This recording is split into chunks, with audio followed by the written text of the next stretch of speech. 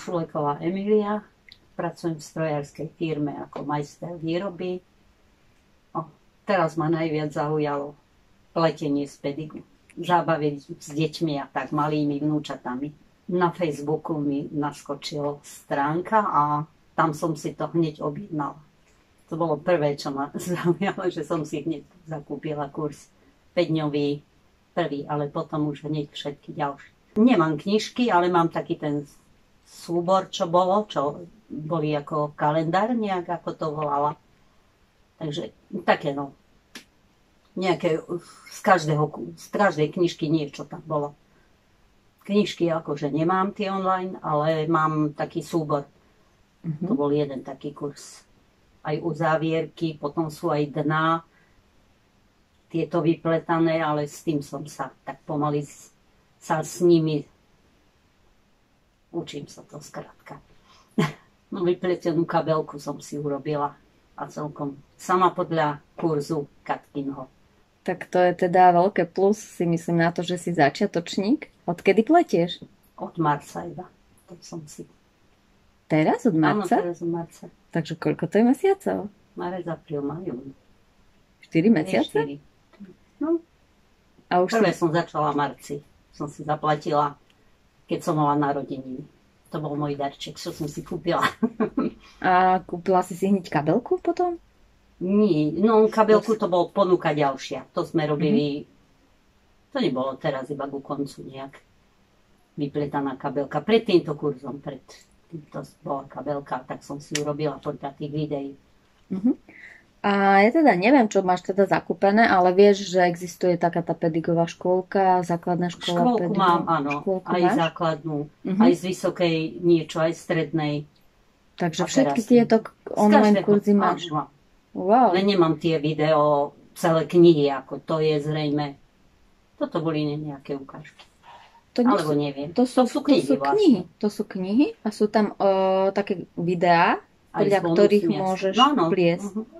Ako sa ti podľa tých videí pletie? Výborne.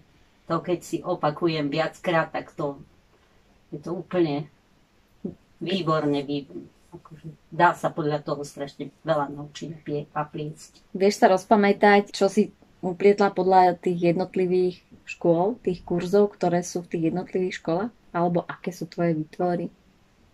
Tak mám košíky s uzavierkami rôznymi, aj tie uzavierky s ten vrkoč pletený. Majster uzavierok? Áno, to uh-huh. som mhm. mala tiež kurz kúpený. Tak všetky tie uzavierky, aj video, živé, na videokurzy živé som mala. Tých, to sme mali asi 6. Myslíš teda online kurzy alebo áno, živé kurzy? živé sme mali. Mala, mala živé a mala som, o, večer to bolo 7. Uh-huh. Živé boli. Ale Nie online, online živé? Od, online, ale naživo. Tak. Uh-huh.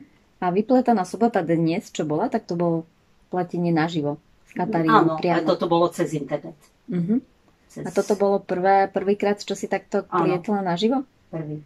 A ak by si porovnávala také pletenie online a takto naživo, čo by si uprednostnila, alebo vidíš tam nejaké plusy a minusy? Tak plusy je tá skupinka a tá atmosféra všetkého, čo je. Aká to bola? je plus. Výborná.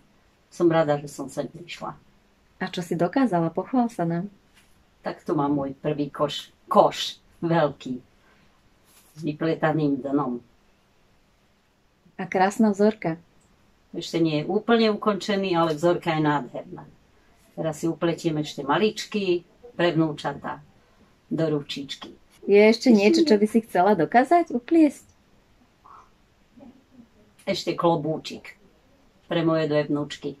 Mám už aj kúpenú akože polystyrenovú hlavu a podľa toho sa budem snažiť. Len v lete je menej času, tak by sa nejak nájdem.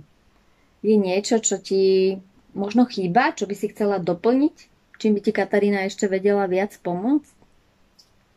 No zatiaľ, akože, zatiaľ mi to úplne akože stačí a vyhovuje. Chcela by si ešte niečo Kataríne odkázať? Že som veľmi rada, že som sa stretla aj s ňou, aj že som prišla na tie kurzy všetky. Dobre, tak sa teším s tebou. Bolo mi cťou, že som dneska s tebou mohla pliesť, že som ťa mohla spoznať, aj zažiť ja. tú atmosféru A teda verím, že sa ešte stretneme na, na ďalších takýchto kurzoch. A ja budem veľmi rada. Pekný a večer. Určite prídem na ďalší. Ďakujem.